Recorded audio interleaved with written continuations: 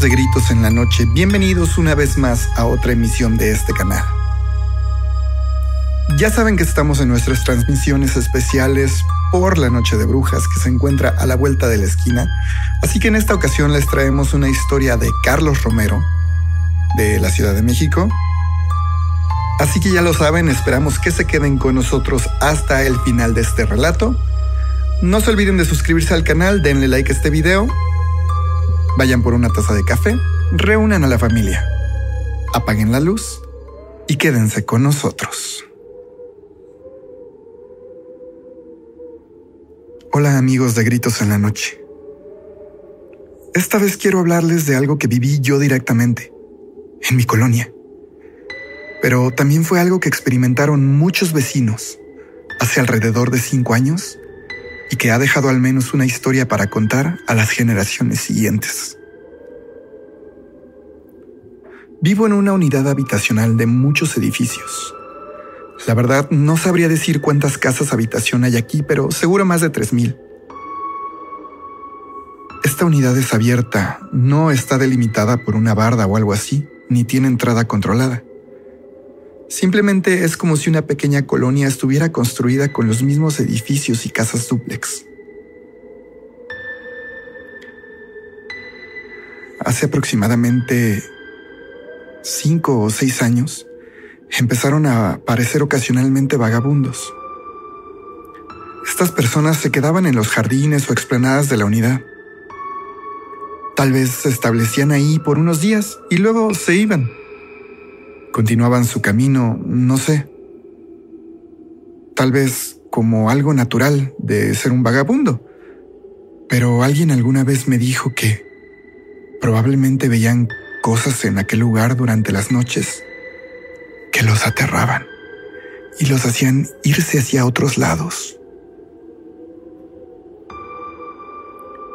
En una ocasión llegó un vagabundo un hombre muy raro que daba miedo, no porque realmente hiciera algo que nos amenazara de algún modo, sino su presencia. Su estructura y su forma física eran perturbadoras.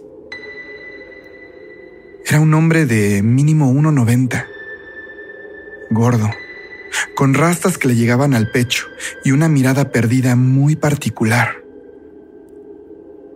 Cuando caminaba y se movía, Parecía estar tambaleante. Pero a veces volteaba su cabeza de forma muy brusca y sonreía. La gente decía que si te le quedabas viendo, él solamente te miraba y sonreía con la boca grande y abierta. Este hombre iba rodeado siempre de al menos ocho perros.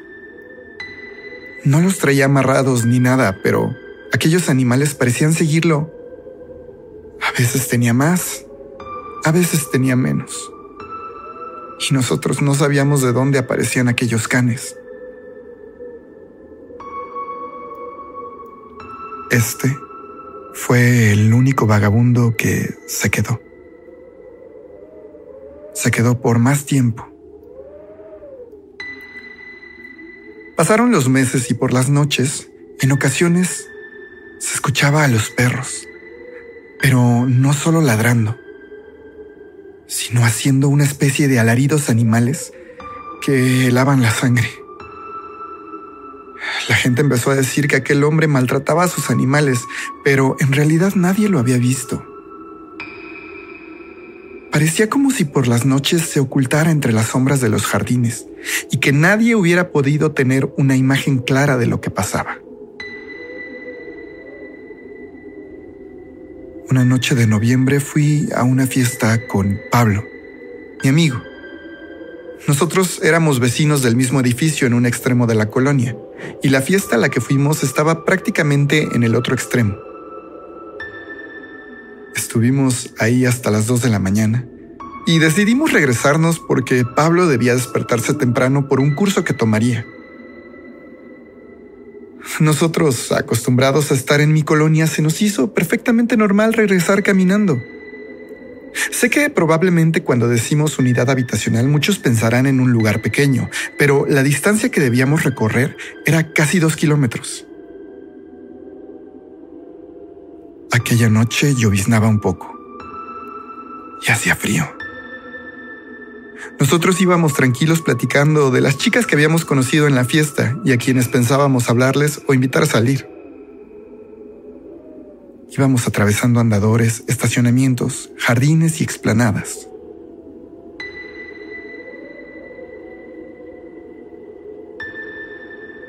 Cuando íbamos caminando alrededor de la mitad de la unidad, escuchamos a los perros empezar a ladrar.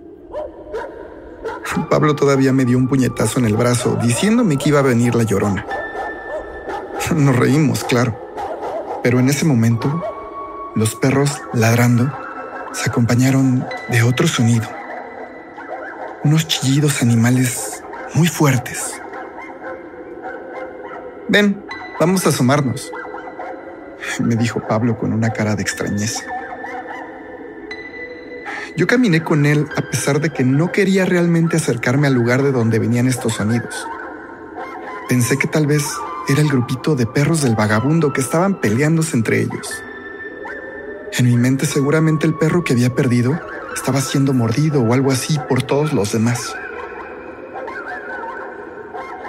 Nos metimos por unos caminos entre los jardines, intentando encontrar el origen de aquellos alaridos y parecía que no podíamos ubicarlo completamente. Hasta que dimos vuelta por un pequeño pasillo que pasa detrás de una primaria. Ven, es acá creo, me dijo Pablo mientras tomaba un palo para defenderse de los perros, por si nos atacaban. Los animales podían verse más adelante reunidos en un grupo como, no sé, rodeando algo. Por supuesto pensamos que seguro en medio estarían mordiendo algún otro perro. Nos fuimos acercando. Muy despacio. Los animales parecían ladrar de forma muy alterada. Conforme fuimos poco a poco llegando a ese lugar, vimos una imagen impactante. La más perturbadora que jamás hayamos visto. De entre aquel círculo de perros, vimos emerger de en medio la figura del vagabundo, que estaba sentado en el piso. Y entonces lo vimos. Ahí, ahí tenía un animalito un perrito pequeño sin raza, acostado en su regazo, panza arriba. Pablo, que iba unos pasos adelante de mí, extendió su mano para detenerme. Se acercó a mi oído y con una voz entre llorando y susurrando me dijo,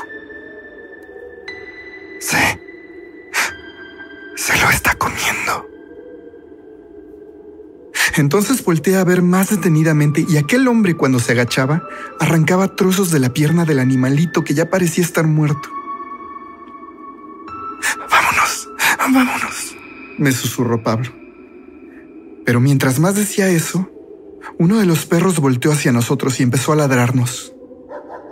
Aquel hombre alzó su mirada y pudimos ver su boca manchada de lo que seguramente era sangre. Córrele, me dijo Pablo mientras aventaba el palo que traía en la mano. Sin pensarlo emprendimos la carrera, sin hablar y en parte en estado de shock. Mientras corríamos yo volteé y alcancé a ver como una cuadra detrás de nosotros aquellos perros. Y atrás de ellos, corriendo con unas zancadas muy grandes, aquel hombre enorme. Pablo dice que también lo vio. Llegamos al edificio y mi amigo de manera muy ágil abrió la puerta. Entramos y cerramos con llave el edificio para después subir a su departamento, que estaba primero que el mío.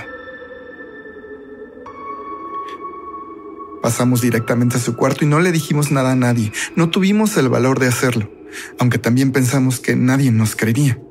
Vamos, aquello era tan disparatado que no podía ser real. Sí, lo viste, ¿verdad? Lo viste que venía atrás de nosotros, ¿cierto? me preguntó Pablo, mientras entrábamos a su cuarto. Supongo que para intentar no sentir como que lo que decía era una locura. Esa noche me quedé ahí.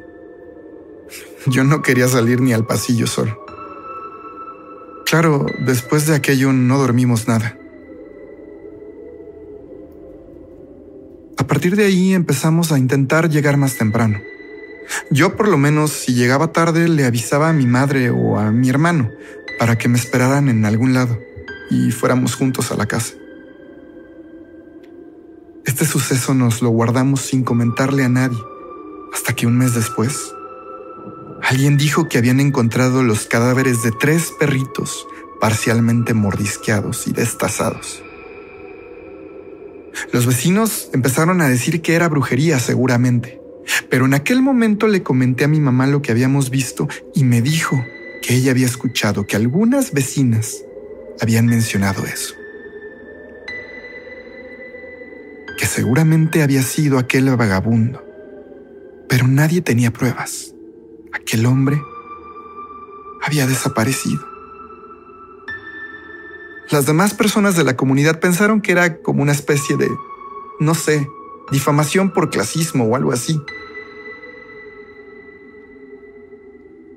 Posteriormente me enteraría que sí, que no éramos los únicos, que algunas viejitas, ya saben, de esas típicas que se la viven en la iglesia, Decían que lo de los perros había sido obra de aquel hombre, que aquel hombre no era humano, que era un demonio. Un demonio que comía